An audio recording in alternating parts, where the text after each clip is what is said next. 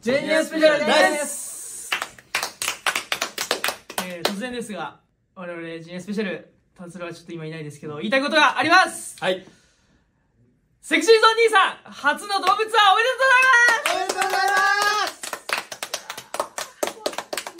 嬉しい。ます嬉しい。イエ嬉しいひたすら嬉しい嬉しい。本当にあのね何言ってんだっていう話になる方も いるとは思いますがうん。セクラバなんでね。セクラブだしツアーメンとしてもずっと出させていただいてるっていうのもあるのでもうめちゃめちゃ嬉しいです。嬉しい。おめでとうございます。おめでとうございます。たちをよろしくお願いします。出たいです。